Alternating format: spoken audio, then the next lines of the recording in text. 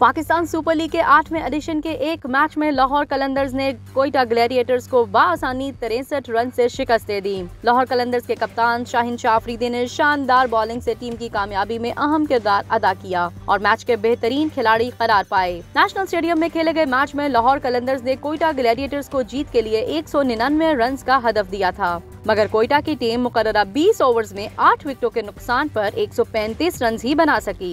कोयटा की जानब ऐसी सबसे ज़्यादा 48 रन जेसन रोय ने बनाए। उन्होंने 30 गेंदों का सामना किया और राशिद खान की गेंद पर बोल्ड आउट हुए। मोहम्मद हफीज 25 रन बना सके। लाहौर कलंदर्स की जानब से शाहीन शाफरीदी और डेविड विजे ने तीन तीन खिलाड़ियों को आउट किया। मंगल की शाम कोयटा ग्लैडिएटर्स ने टॉस जीतकर लाहौर कलंदर को बैटिंग की दावत दी। लाहौर कलंदर्स ने अपनी इनिंग्स का आगाज़ किया तो इसकी पहली विकेट उनचास रन पर गिर गई। ओपनर फखर जमान बाईस रन बनाने के बाद ओडियन स्मिथ की गेंद पर आउट हो गए। इसके बाद ताहिर बेग इकतीस रन बनाकर मोहम्मद नवाज़ की गेंद पर पवेलियन लौट गए। कामरान गुलाम ने 17 गेंदों पर 21 रन बनाए, जिसके बाद वो कैस अहमद का शिकार बने। शाही होप ने पाँच चौकों और एक छक्के की मदद से सैतालीस रन बनाए, लेकिन निस सेंचुरी मुकम्मल करने से पहले ही वो ओडियन स्मिथ की गेंद पर कैच आउट हो गए। हुसैन तल्लत 26 रन बनाने के बाद कैस अहमद की गेंद पर आउट हुए। इनके बाद डेविड वीजे भी क्रीज पर कदम जमा ना पाए, और उन्होंने सिर्फ़ एक ही रन बनाया तो मोहम्मद हुसनैन ने इन्हें बोल्ड कर दिया।